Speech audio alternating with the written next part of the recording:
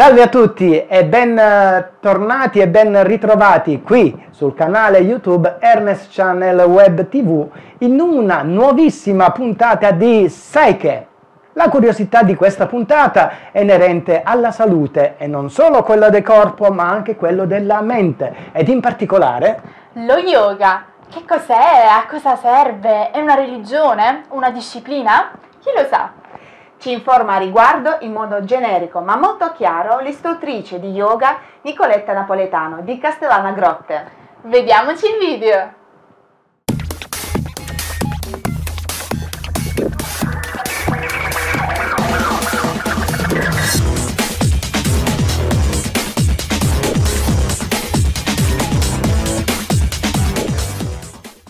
Salve a tutti e ben eh, ritrovati in una nuova puntata di Sai che?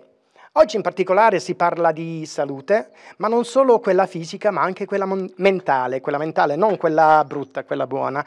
E ci troviamo presso il centro yoga dell'istruttrice Nicoletta Napoletano di Castellana. Ciao Nicoletta. Namaste. Che significa? Saluto il divino che è in te. Namaste. Namaste allora. Molto bene, e oggi si parla di yoga. Che cos'è la yoga, Nicoletta? Eh, lo yoga è un'antica disciplina indiana che rafforza tantissimo il sistema immunitario. Uh, lo yoga agisce su vari livelli fisici, corporei e mentali, uh, migliora la circolazione, migliora il sistema linfatico, sicuramente muscolo-scheletrico, riduce lo stress, migliora l'insonnia, porta pace e serenità interiore. Beh, effettivamente già mi sento pure io più rilassato a stare qui vicino a te che mi parli con questa calma e tranquillità. Volevo sapere se lo yoga è una religione. Assolutamente no eh, anzi, come dicevo prima, è una vera e propria disciplina ehm, che porta attraverso l'esercizio fisico, noi facciamo delle posture chiamate asana e quindi attraverso proprio questo esercizio fisico movimento e poi attraverso il rilassamento ad un profondo benessere. Molto bene. E un'altra bellissima domanda, ma a che età si può iniziare a fare lo yoga?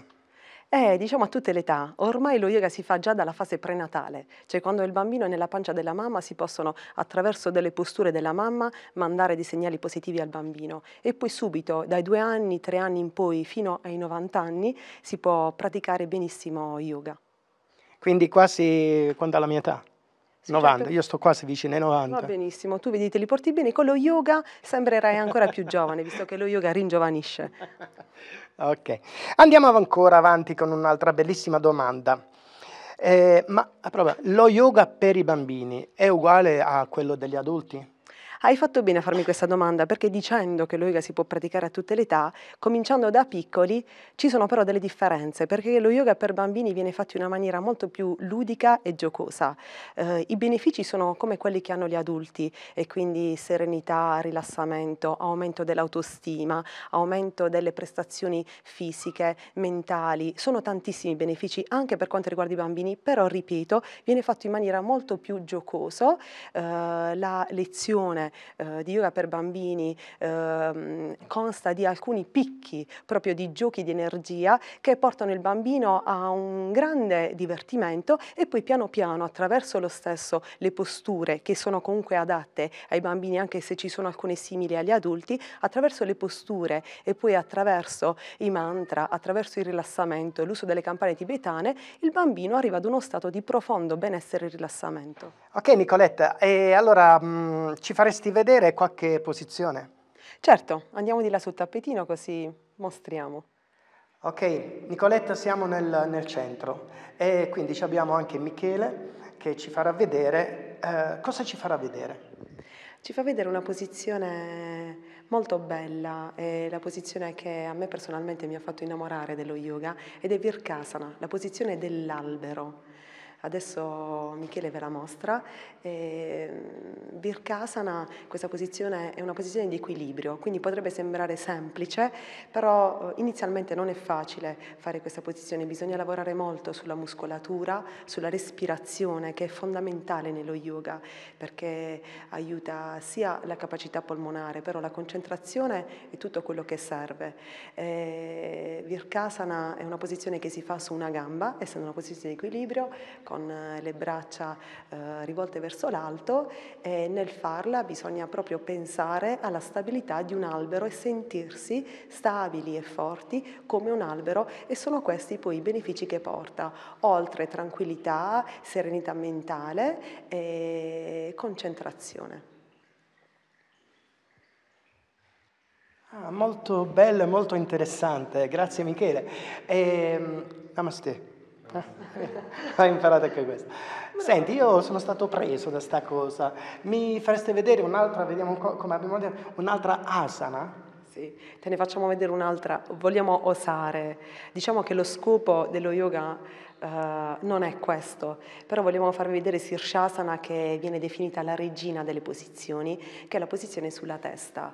Uh, ripeto, ci sono tantissime asana, ci sono centinaia di asana nello yoga e ognuno serve a, ad una determinata, a, a un determinato scopo. Uh, in generale tutte le posture che noi facciamo ehm, lavorano molto sulla colonna vertebrale e quindi, come ho detto all'inizio, migliorano tantissimo l'apparato scheletrico, muscolo scheletrico, rafforzano la schiena, e, eh, aprono il petto e questo ci permette di avere una respirazione più profonda che è fondamentale, visto che alla maggior parte delle persone la respirazione è bloccata. Invece grazie allo yoga e al rilassamento eh, viene molto migliorato questo aspetto. Eh, per curiosità vi facciamo vedere Sirshasana, ripeto la regina delle posizioni, questa posizione lavora molto eh, sul sesto chakra, cioè sulla testa, che è quello che ci collega all'universo, è la sede della nostra intuizione, della nostra energia e quindi in questo modo, attraverso Sirshasana, eh, portiamo automaticamente il praticante al rilassamento, quindi alla fine al rilassamento e alla meditazione, che è un momento fondamentale nello yoga perché è il momento di comunione con se stessi ed è quello che porta pace e serenità. Prego. Ora cosa sta facendo? Si sta preparando per praticare Sirshasana.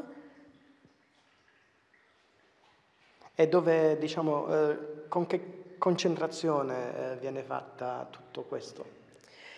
Eh, come dicevo prima, c'è bisogno di lavorare prima sia fisicamente per rafforzare le braccia, tantissimo la muscolatura delle braccia e delle spalle e quindi ci sono delle asana preliminari che si fanno prima di arrivare a Sirshasana e poi eh, anche eh, come dicevi tu, bisogna lavorare molto sulla concentrazione, sul rafforzamento anche del, del, delle, sul superamento rafforzamento delle proprie paure, perché fare le posizioni invertite vuol dire anche simbolicamente affrontare le proprie paure e quindi superarle e andare avanti.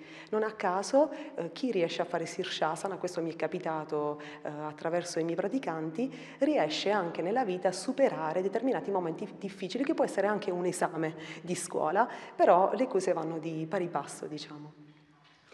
Michele, hai superato l'esame. Ora tocca a Pino. Ti vedo propenso per lo yoga. Eh, dopo tutto questo, volevo sapere se ci sono delle controindicazioni allo yoga. In, in, generale no, in generale no perché uh, quello che noi raccomandiamo è di lavorare ognuno secondo il proprio ritmo, secondo il proprio fisico, uh, secondo i propri tempi, quindi mai esagerare uh, nella pratica delle posizioni. Quindi in generale no. delle controindicazioni possono essere quando si, ehm, si, è affrontata una, una, una operazione, quando ci sono delle lesioni gravi alla schiena, agli arti, eh, agli occhi, solo queste, però in generale no, anzi lo aiuta tantissimo a migliorare eh, stato, il proprio stato di salute, ripeto. Poi ogni posizione forse ha delle piccole controindicazioni, ma questo è relativo, eh, in questo poi ci, siamo, ci sono gli istruttori che seguono i praticanti nel loro, nella loro pratica.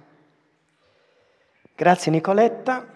Speriamo che i suggerimenti di quest'altra puntata di Sai che sono stati utili e vi siano piaciuti. Sai che può interessare o coinvolgere anche te.